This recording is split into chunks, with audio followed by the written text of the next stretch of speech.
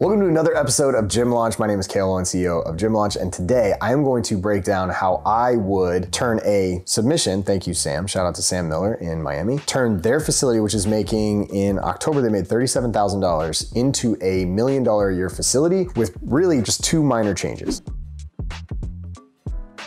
Some of the information about this gym was provided by Sam, which is exceptional, by the way. Shout out to Sam. Bodied by Miller. If you go to bodied underscore by underscore Miller on Instagram, you can follow their gym. They do a great job, by the way. Sam, just telling you right now, you do a phenomenal job on your organic presence and posting a bunch of pictures, group stuff, smiling women, all this stuff. Y'all do an amazing job. So, Bodied by Miller is a female only group training facility. They have about 1,500 square feet. They're located in Miami and they have currently 213 members. Their monthly churn is 17%. Yes, it sounds high, but unfortunately, that's pretty normal for large group training facilities. He's got a pretty tight space in Miami. So the biggest thing that we're thinking about, and when I'm thinking through this and what I would do is I'm looking to maximize the amount of space we have and be able to charge an equivalent amount to where we can really maximize every square foot that we have. So there's a couple different options we can go here. We could potentially go and just say, hey, let's cut all large group and go straight to semi-privates. I don't think that's the right call. I think his community is exceptional. Just based on just looking at all the stuff, I think they do a great job. But what we need to do, in my opinion,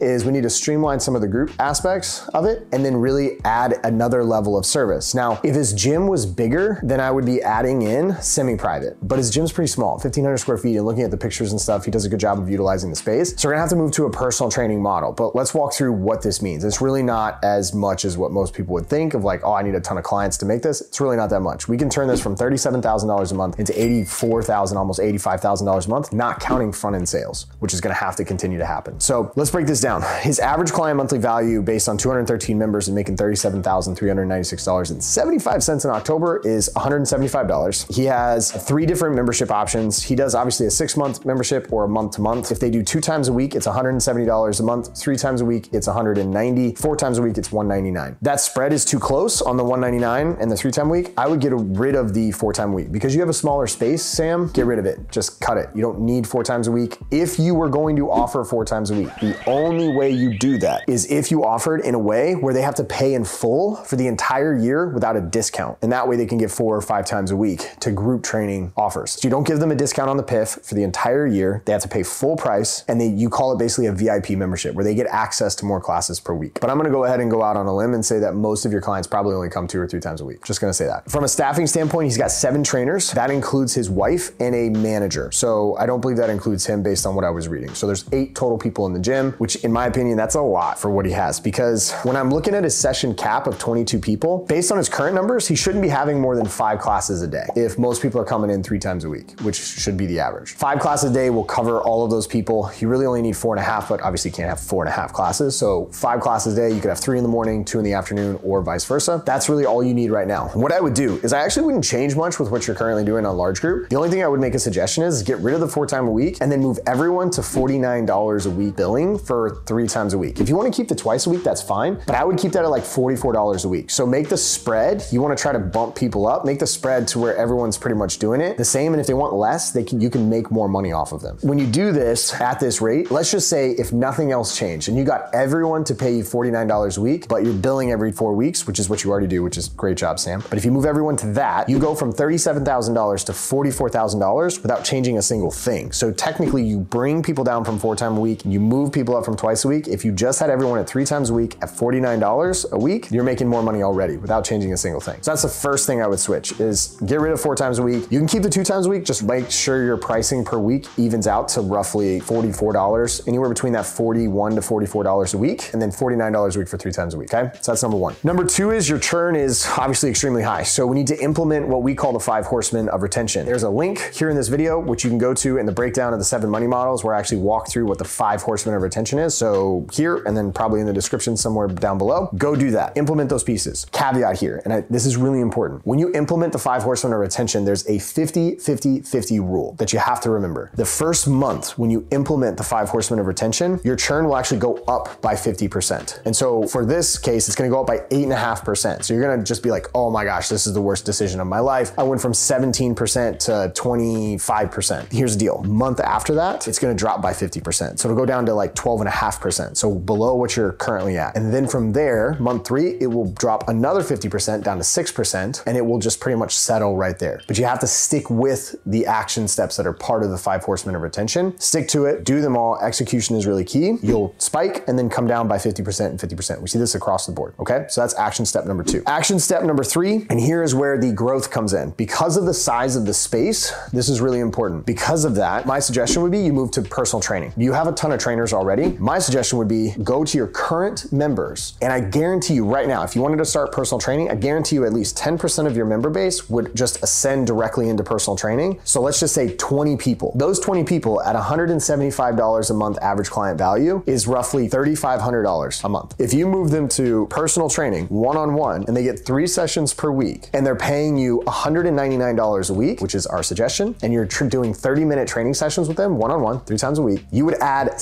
$17,000 in top line revenue with a net because you're losing 3,500 of your EFT. Your net would be $13,000 right now just by adding 20 members. And the goal would be, if I were you, is try to get 50 people on personal training. So you have two tracks that you take them on. You do group training, which is your feeder system for personal training. And in your personal training, your goal is to get to 50 members on that. You have enough trainers, each trainer could have 10. You could pay them $20 per session. At that point, they're making $40 an hour because they're 30 minute sessions. You pay them $20 per session. They're doing three per session per client. So if you think about it, they have 10 clients, they're doing 30 sessions over the week. That's only 15 hours a week of work. They can still coach classes, you intermingle them in, and you spread it out and you work it that way to the point where now you have 50 people. That's adding another $42,000 on top of what you're doing right now. So all of a sudden, you move from, let's say you have 200 EFT members in a large group, that's $42,000 right there. And then you have 50 PT clients, and that's another 42,000, almost $43,000 right there. So right there, between those two, you're almost at $85,000 a month.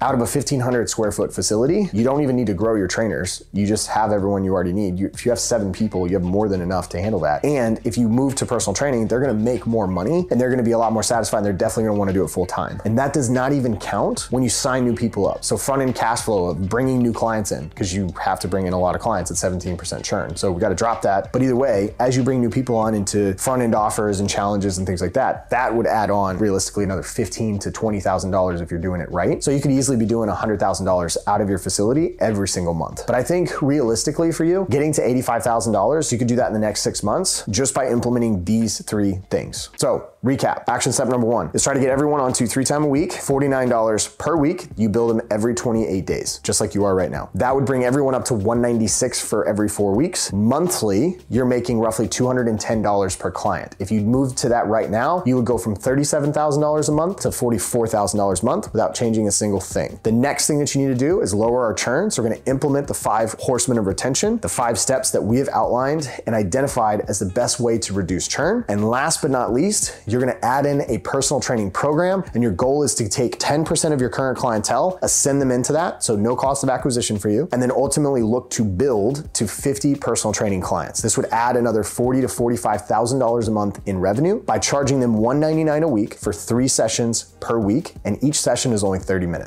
Do that, and this is how you can scale and build to a million dollar year facility at a 1,500 square feet in Miami. So, Body by Miller, crush it. I look forward to seeing how you do it. For those of you that have watched this video, if you find it interesting at all, I appreciate your time. I never want to take advantage of that time and attention, so I appreciate that. If you want to learn more about how we at Gym Launch help gyms be able to implement this process seamlessly and effectively into their business and not screw it up, and you want to learn more about that, there's a link down below. You can book a call with our team to see how we can help you. Otherwise, please just subscribe to the channel, enjoy all the free content and the value. I appreciate every second that you take to watch what we provide. And remember, always, gym owners rule.